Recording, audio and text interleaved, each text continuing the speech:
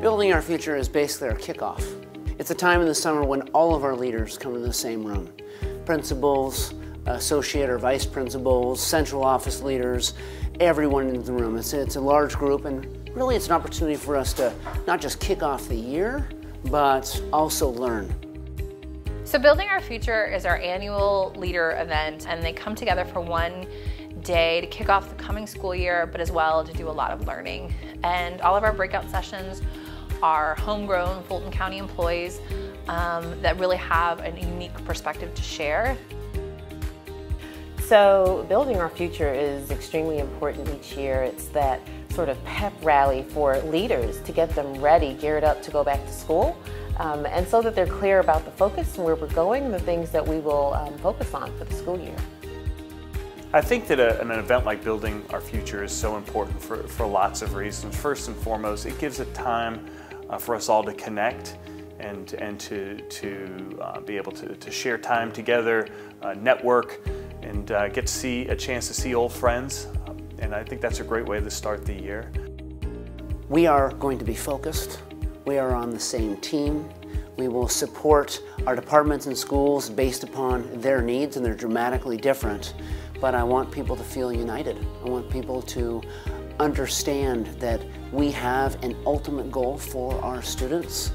We, as a collective, are going to move forward step by step together.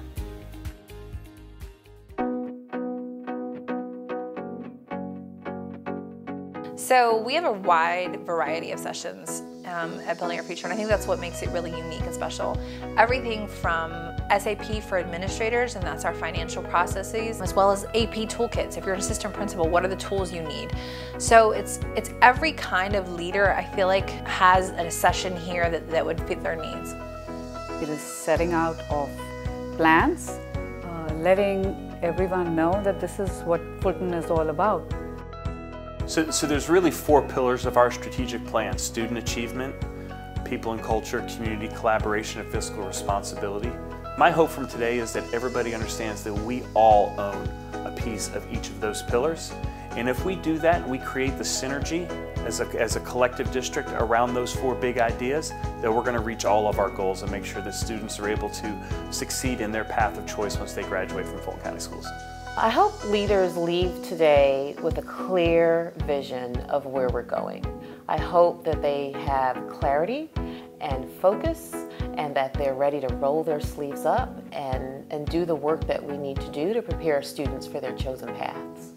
Leaders, I hope that today served you well. I hope that it helped provide some clarity relative to our future, our goal, our why, our what, and our how.